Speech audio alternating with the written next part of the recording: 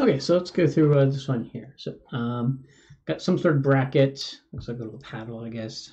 Um, and it is kind of connected and offset from a bulkhead. So it's welded on uh, to the bulkhead via these three posts. They're kind of connected uh, uh, uh equidistant around the centroid of the, uh, well, around the center of the, uh, what you call it, of the of the of the bracket.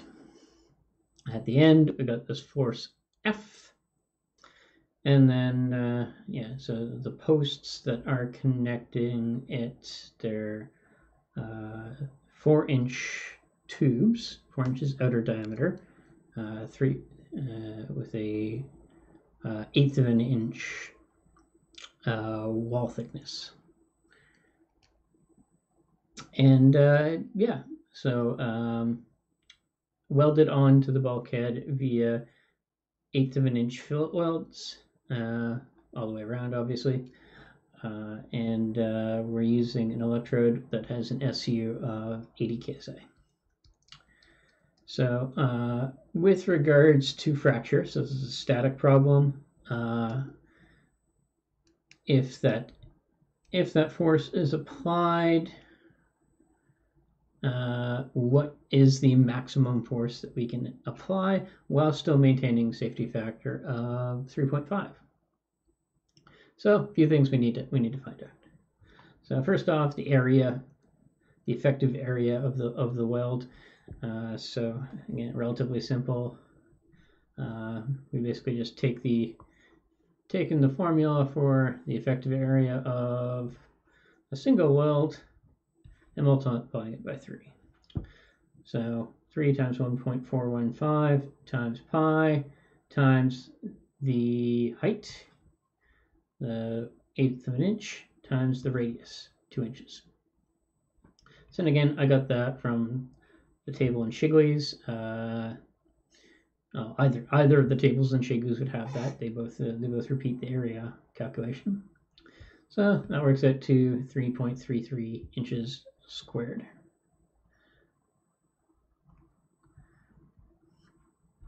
So the, what you call it, um, this loading situation, obviously, uh, so yeah, we're, we're going to have both torsion and bending going on here. Uh, so the torsion, of course, would be kind of uh, based upon this moment about the centroid here.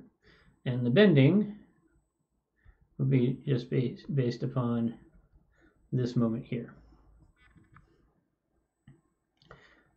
So we need to find the J uh, for that. So again, uh, what we're doing there is we're calculating the J. We're basically for each of the little each of the individual welds, we're calculating their J primes and the area times the radius squared, and then adding that up for all three. So the J prime for one of them again is that's just 2 pi uh, r to the third times 707h or times t. 707h we, we know the h value. We haven't I haven't bothered to calculate what the t is. We can just use the h directly. So the j prime for each individual weld section is the uh, 4.44 inches to the fourth the area for each, each of those is 1.11 inches squared. And again, that's, uh, uh, you know, I'd calculated the overall area up here. Uh, so just not multiplying by three to give us that. And then, of course, the radius from the centroid of the overall weld section, straight in the center here, to the centroid of each individual weld section, that's six inches for each of them because uh, the circle about which these are applied is a 12 inch circle. So for each of those welds, you add that up. And so I just multiplied by 3. Uh, and that'll give us 133.2 inches to the fourth for our J calculation. And then for I, it's not quite as simple as with the j because you know for the j we're basing the uh, the parallel axis theorem on the radius, uh, whereas for the i we're basing it upon the displacement in the y direction. Because uh, from from the centroid, of course. So that's going to be different for the top for the post that's kind of on the top as opposed to those two posts that are that are at the bottom due to the fact they have different different vertical different vertical distances from the centroid. Or vertical displacements I suppose. So again if we have a triangular arrangement oh, come on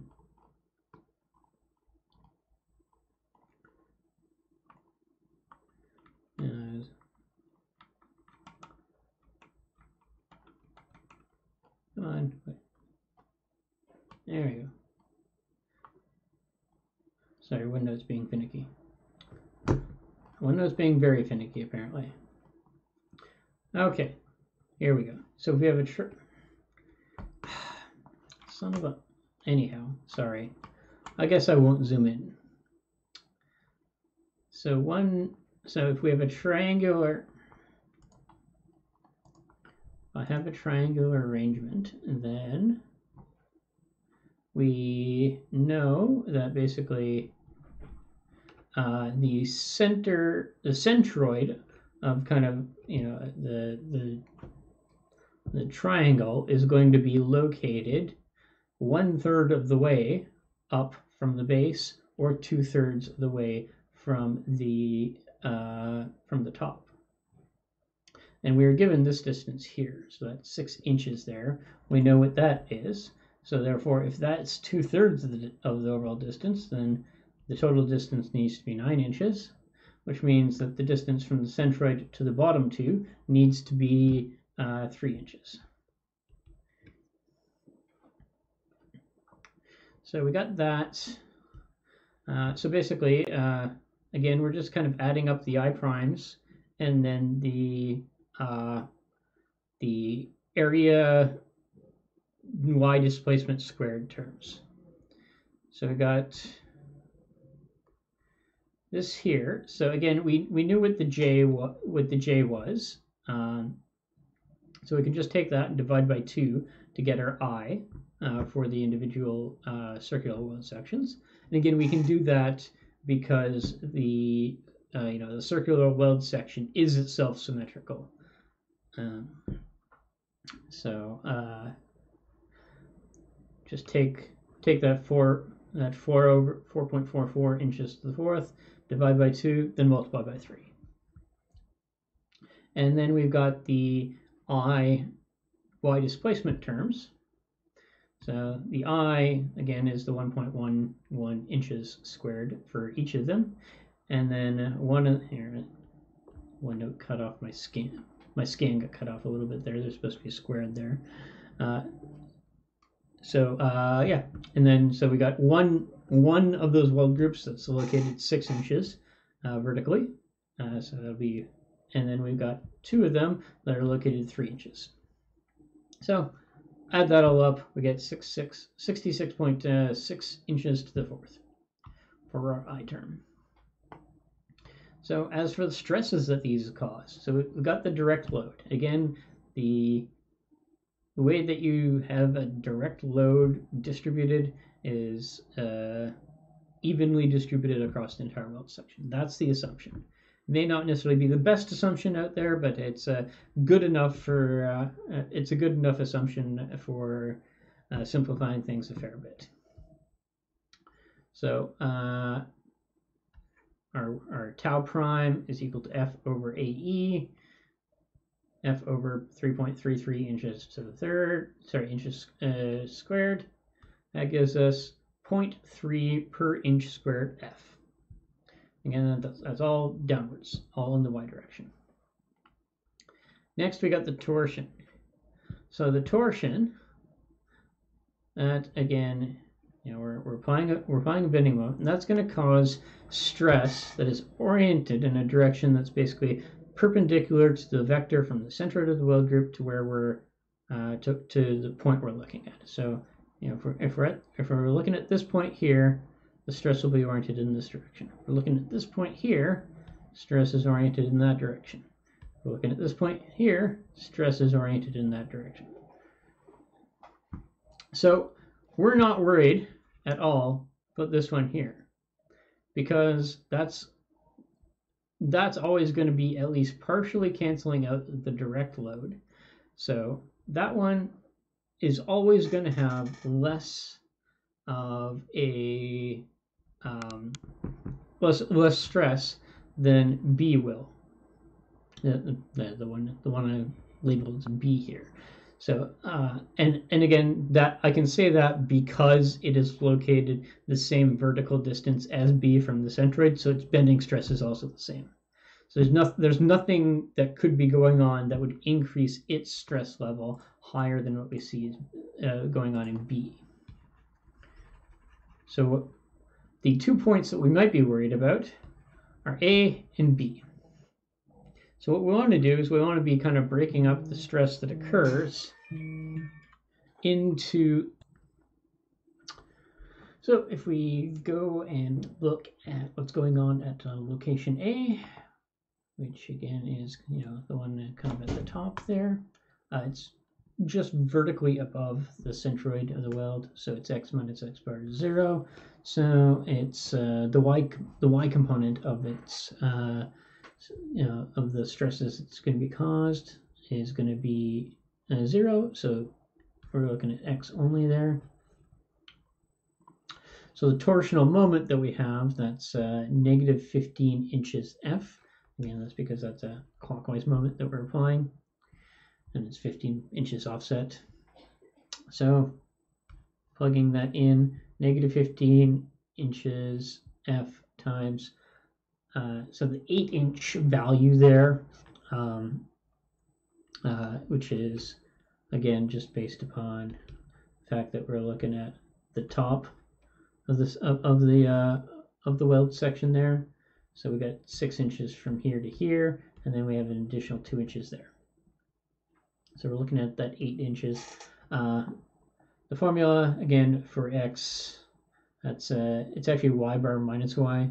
So the y value, so we, we plug in the y value and then uh, subtract it. So that, that, that cancels out from the negative from the moment. So again, if we're applying applying that clockwise, you know, applying that clockwise torque at the top, it's going to be pushing that way, which is what we expect.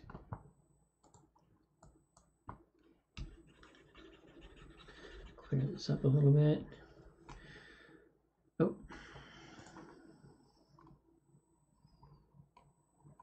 What just happened there?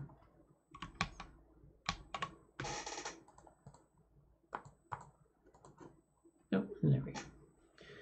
So, uh, yeah, those uh, then it's the negatives cancel out, and we're left with uh, oh and divided by our j, so we're left with 0.9 f, uh, 0.9 per inch squared f, as our stress uh, caused at that location.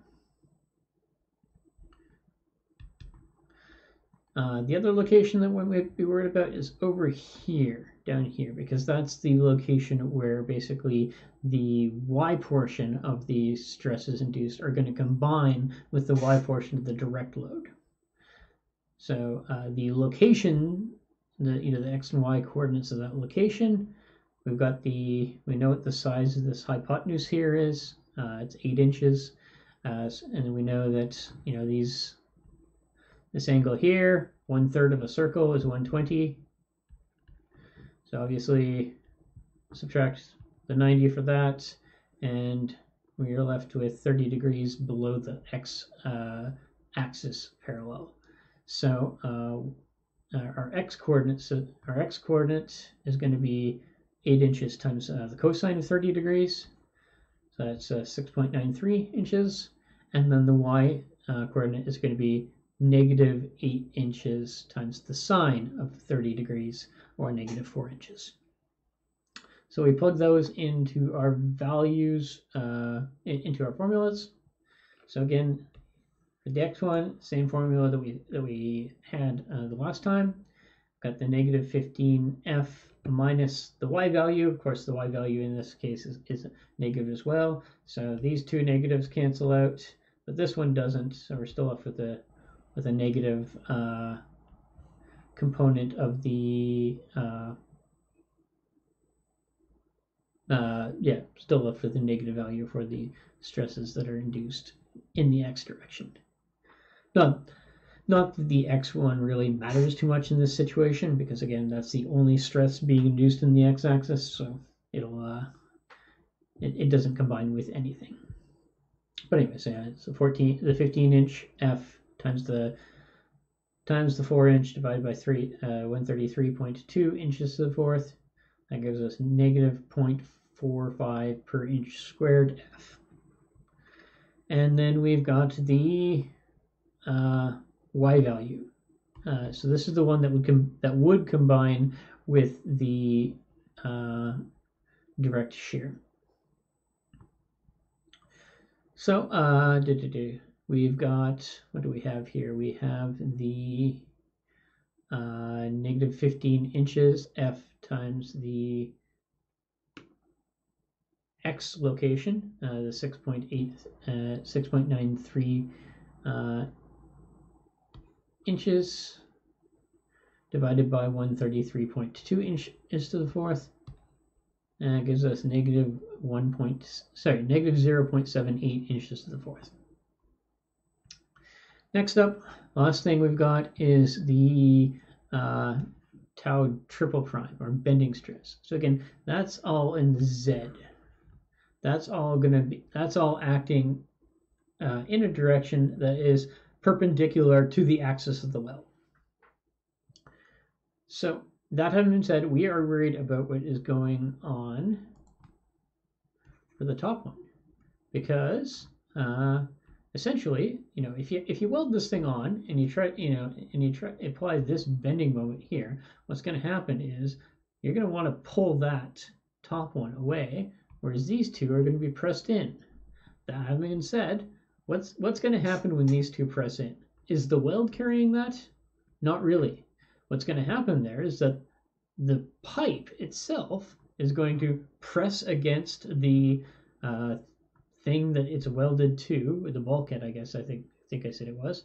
It's it's going to press against the bulkhead itself, and the you know the bulkhead's going to be in the way and it's going to press back.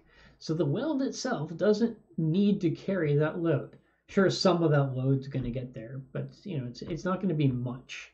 So we are worried here about the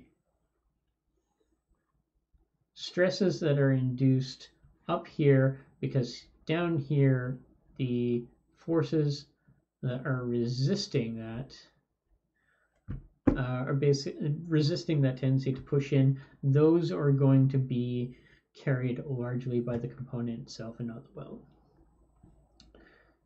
So at that location up here, got our tau triple prime is equal to the m times the c divided by the a. So the m, of course, is the f times the distance, basically the length of the uh, the length of the legs. So I said that was uh, 30 inches.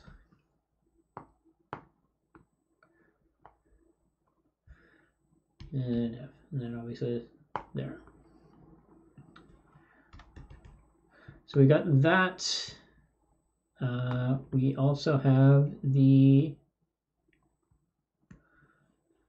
uh, C value there. So again, the C value is just that eight inches.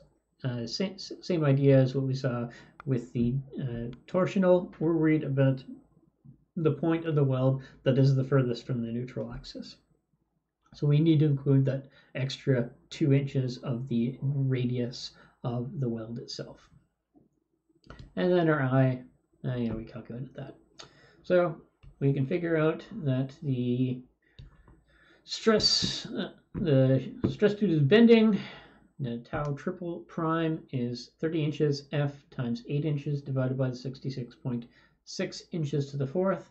that gives us 3.6 per inch squared F. So from there, we can say the critical location is at A. You know, we're what we saw down up here, you know, with, with you know the fact that we're going to get a little bit of combination of the vertical components of the stress is located at uh, um, B doesn't really matter because it's very small compared to the bending stress. So we're worried about what's going on at A because it's got, you know, it's it's carrying the bending stress. Um, e even if the welds below uh, were carrying the load, you know, like say maybe maybe maybe these things were inserted into a hole. There's a hole in the bulkhead and they were inserted in then welded. Uh, then okay, then the welds would be carrying the load. That having said, the stresses induced would be half of what we saw here because uh, uh, well, okay, not, not, not exactly half. The stresses that we induce to be less than what we see here because the distance from the neutral axis to the bottom of the bottom welds, that's just going to be the three inches plus the two inches. So that's going to be five inches versus eight inches. So we're still seeing far less of the bending stress, which is a lot larger than the stresses uh, imposed by all the other stuff. So we can what we can do is we can find out the total stress by basically combining the stresses acting at that location A. So again, that's 3.6 per inch squared F, and uh, that's it. That's the bending stress. So it's the z-axis. We've got uh, we've got the torsional stress, that is 0.9 per inch squared F. And again, that's in the Y direction. And then we also have the direct load portion, that's the 0.3 per inch squared F. So we need, you know, we just need to take Pythagoras' theorem and combine all those things together. So they're all acting perpendicular to one another. So we just, you know, throw we just throw them into Pythagoras' theorem. So I went ahead and just factored out the uh, the f per inch squared. So we're given, uh, so our tau is equal to uh, 0.3 squared plus 0.9 squared plus 0.3 plus 3.6 squared. Take the square root of that, and that's per inch f. So that gives us 3.7. So a very slight increase from just accounting for the bending stress. So if we want to find our safety factor, again, our factor of safety here that we're targeting is 3.5. So we calculate that by taking the ultimate strength of the weld rod in shear and dividing it by the shear caused by the maximum stress the shear the shear the shear caused by by the stress at that critical point. So again, with with steels, the ultimate strength in shear is equal to 0.8 of the ultimate strength in the tensile test. So we were told at the beginning that the ultimate strength of the weld material is 80 ksi. So 0.8 of that, or 80% of that, is 64 ksi. So that's the ultimate. That's our SUS. So the, and then just rearranging this a little bit, uh, 64 KSI divided by 3.5 is equal to our 7.3.7 per inch squared F max. Solving for F max, we're able to find that it is equal to 4.9 kips. So that that that is how you go ahead and combine uh, the uh, you know the, the various stresses caused by torsion, bending, and and uh, the direct load as well. Um, other stuff, uh, obviously, you know, if, if, I want to make, if we were making this a fatigue problem, then uh, you would end up uh, kind of ref taking your F max so taking taking your your uh, let's see here. Take taking your shear stress cal your, your, stress calculation. 3.7 per inch squared F and then just figuring out if your load varies from some amount to another amount, what is the average, what is the mean of that of that variation, and what is the amplitude.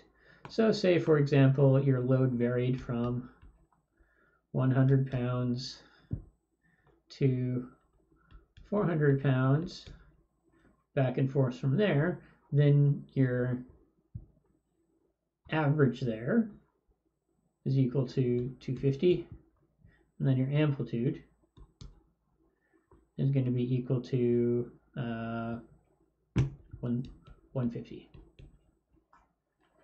Relatively simple calculation. Anyhow, uh, so yeah, that's uh, that's basically how you go about that. Uh, everything else, you know, is just variations on the themes we've talked about. So different geometries are going to re result in different combinations of i, j, and, and a area, but uh, that's our, you know, still relatively straightforward. All right, uh, see you guys.